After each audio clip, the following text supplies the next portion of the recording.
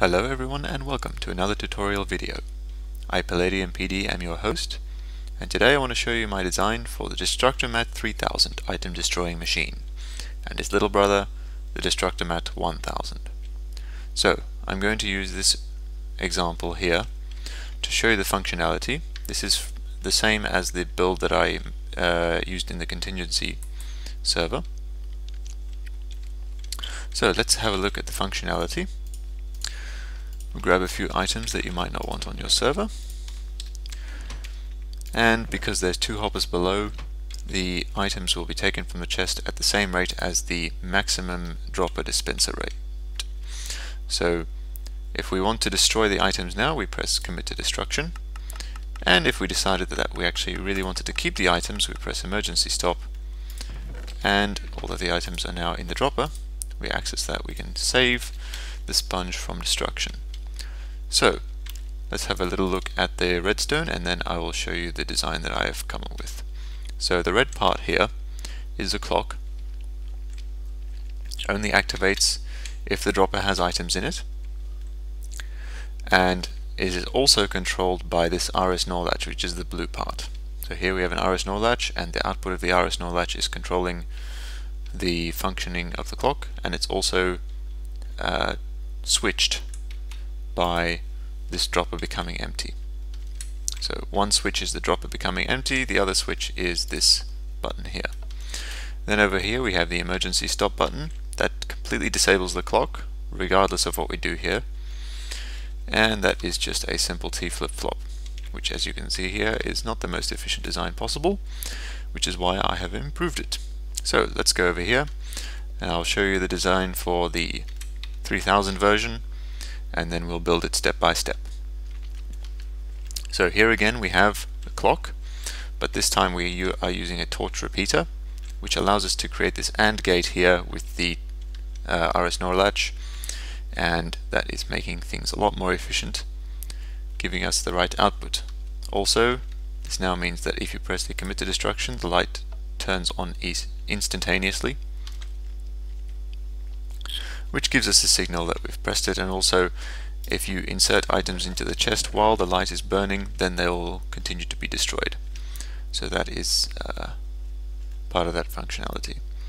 Now over here we again have a T flip-flop however this time it is much faster responding. So if we press the button you can see the light turns on almost instantly and that is reflecting the clock being stopped almost instantly as well. It's not just the light turning on and then sometime later the clock stops.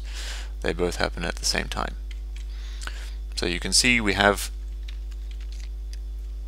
over here there is a repeater at 3 ticks and a torch. Both of their signals are sent down here to these two repeaters into that one repeater which will flip depending on whether we press the button.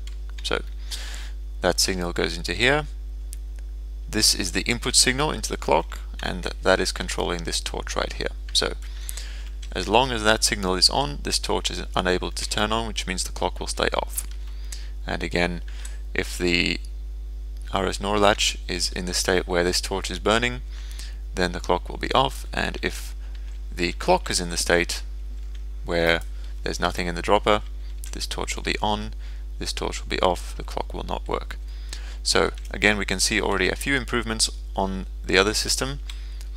First of all the emergency stop is pretty much instantaneous.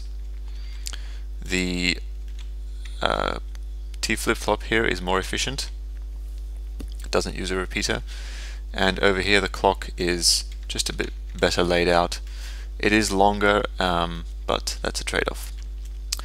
So that is also good and Furthermore, we have this little door here, which normally, if you just step on the pressure plate, because there are two uh, uh, there's two redstone dust here, it will not normally activate.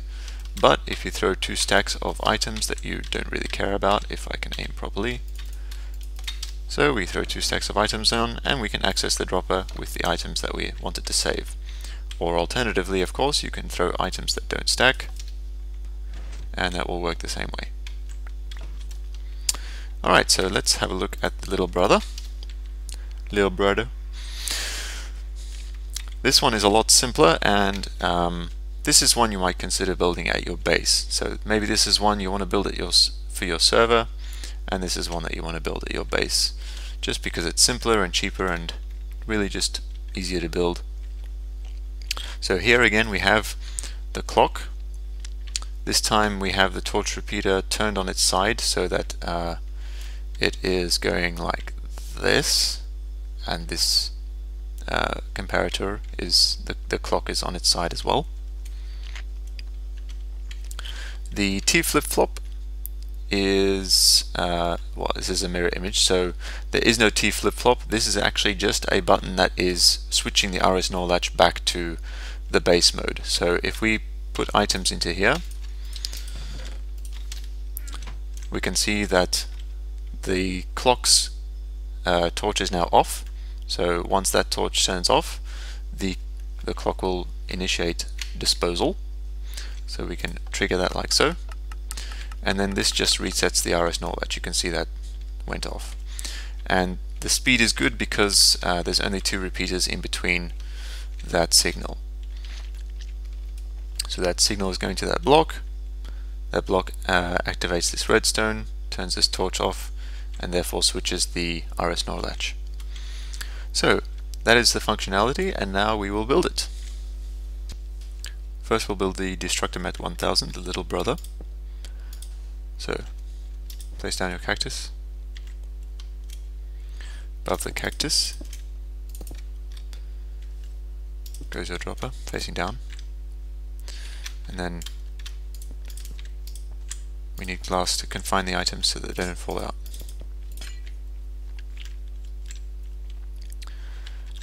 Now place hoppers in your chest. Now begin with the redstone.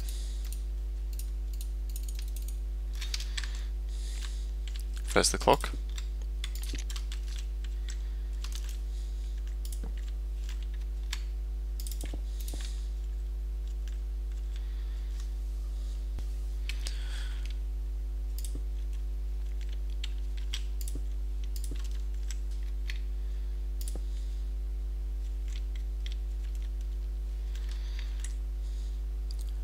So we have a torch coming out of this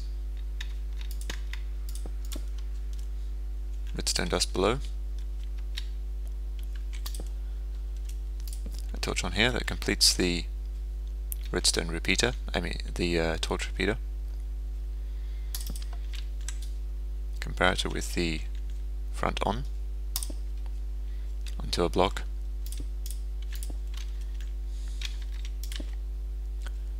signal gets cycled through and sent over here. Like so. Now we do the T flip-flop.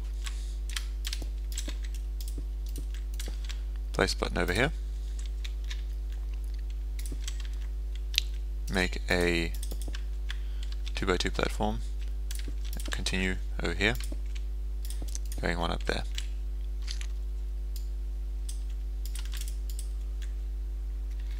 With a torch going into this dust. Another reset. Place a button in the same place on the other side. Redstone dust and repeater. Sends a signal down.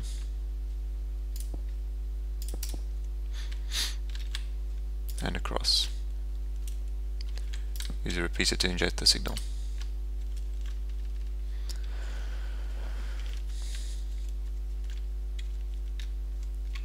That's the wrong block.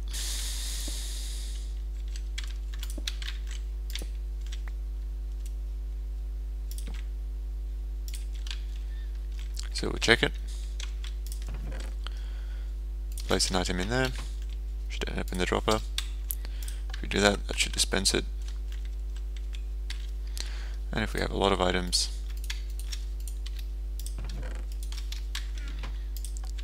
should continue to get destroyed until we turn the clock off. Good. Let's build the big brother. Alright, now let's build the 3000 version. Start is the same. comparator.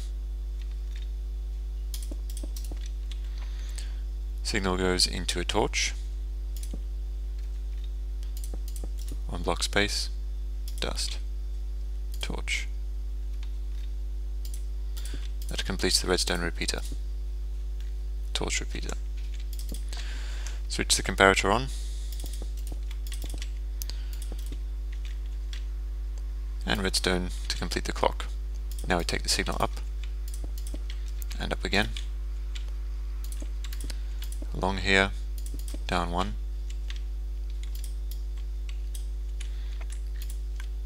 Connects here, so we need to disconnect that. That completes the clock.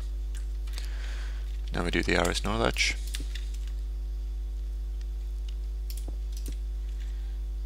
I'll just place the button for the other side too.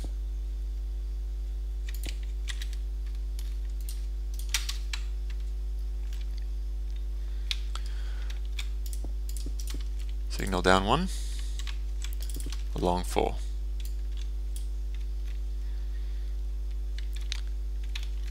Down one on this side.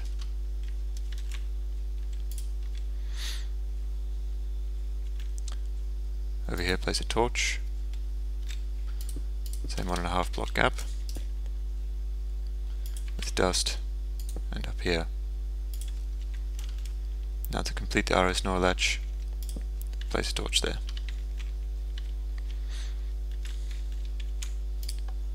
The latch should not switch if we press this with no items in there. So let's test. Is the latch going to switch? Yes it is.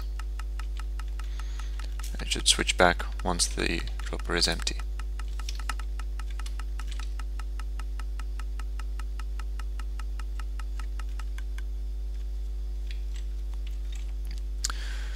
Now build a T flip-flop.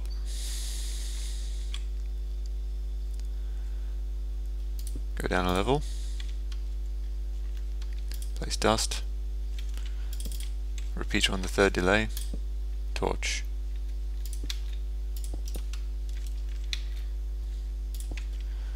Repeater signal is going to that block and we'll come down to this level. So we unify their signal which block is their signal going into? It's going into the block right there. So place the block like so.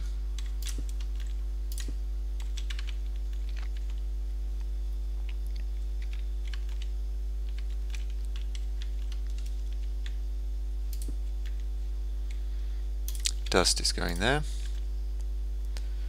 The repeater carrying the signal will go there.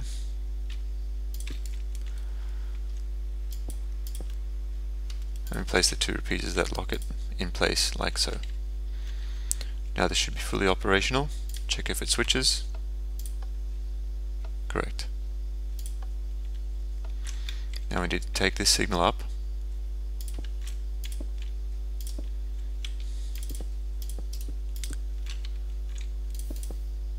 to control the lamp.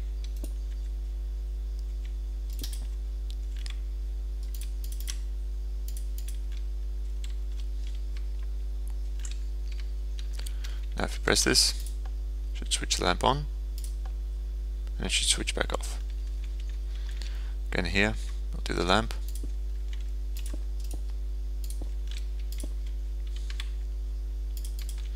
Cut the signal off so that it goes into the lamp and place. Should not permanently switch on unless we have items in the dispenser or rather the dropper. The light will stay on until the dropper finishes dispensing the items. Now let's take care of one final item.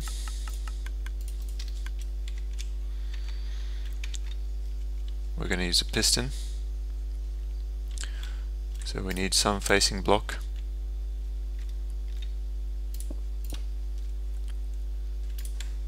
And sand. So when the piston is up, that's the closed position.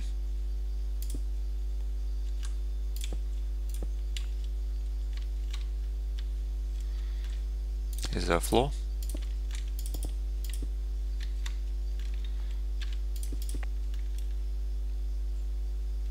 Place the pressure plate in the middle, two redstone dust, and a torch. That completes this build, but you should always decorate it case it, make it look good. If you put the effort in to build it, you may as well.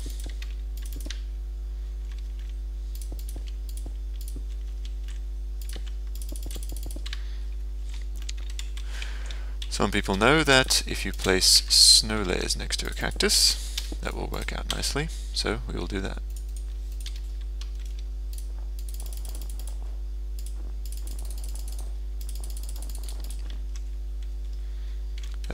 Unsightly sight lines below. Now we have fully functioning Destructomat. Again we can case behind here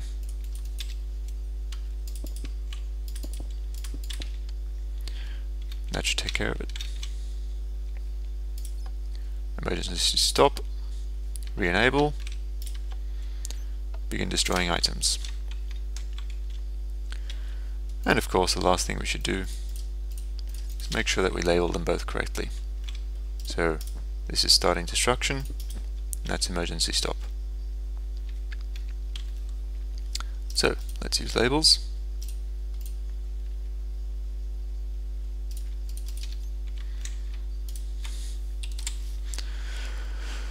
Alright, commit to destruction. Find it useful to use a nice colorful phrase. Emergency stop.